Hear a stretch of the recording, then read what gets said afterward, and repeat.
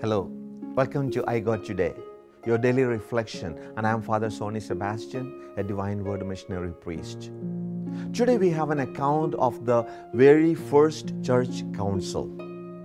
Two issues were the main reasons for it. Number one, should Gentile converts be obliged to observe the Jewish law?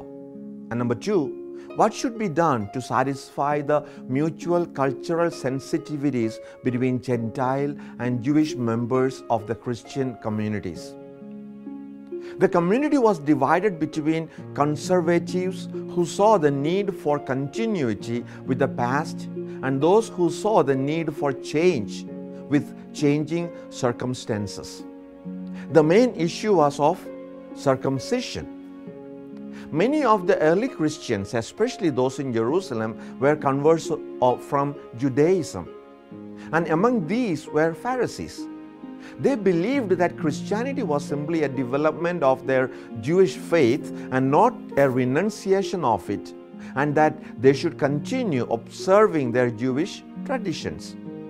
Circumcision, like many of the other practices of the Jews, was a crucial identifying mark of God's people, even though the original reason for the practice may well have been hygienic and preventative.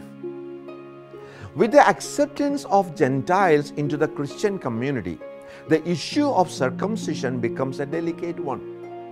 Should the new, the new non Jewish converts be forced to undergo such painful operation? Was it really central to the Christian identity? It seems that the Christians in Antioch were not enforcing it on their new Gentile converts, and this was causing some concern among Jewish Christians in Jerusalem. So they sent delegates to Antioch with a strong message. It said, Unless you are circumcised according to the Mosaic practice, you cannot be saved. But still, the Antiochian church did not see that compulsory circumcision should be part of the package. It was, of course, a telling point that Paul himself, of course, a Pharisee, was against compulsory circumcision of the Gentiles. As a result, a group of delegation from Antioch, including Paul and Barnabas and some of the others, went down to Jerusalem. When they reached Jerusalem, they gave the same message about their great success in bringing Gentiles into the Christian communities. But they were challenged by the conservatives of the day, converted Pharisees who, again, as in Antioch, insisted on the absolute necessity of circumcision for all converts. The whole group then proceeded to discuss the matter in depth. There is much for us to learn from this experience of the early church. There's certainly a need for continuity if the church is to retain its identity and its links to, the, to its origins. That is why the scripture, both Old and the New Testaments, is the foundation on which our faith is built and why we need to come back to all come back to it all the time. At the same time, if the church is to present its message in a way that is meaningful, it must also be ready to make the necessary adjustments without losing their meaningfulness. We see this happening today as well.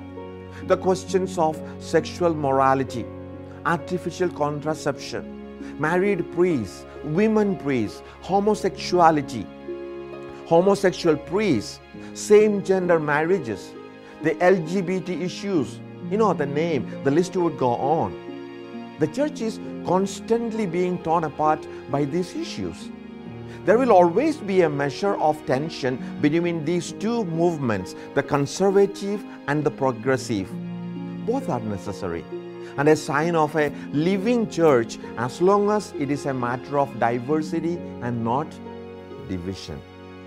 What is vital is that people on each side be open to frank and sincere dialogue, like what we see in today's reading. Such dialogues, backed by prayer and the Spirit of the Lord, will surely lead the church to new pastors and awakenings. So let's pray. Lord, continue. Continue to lead your church in ways of truth and wisdom.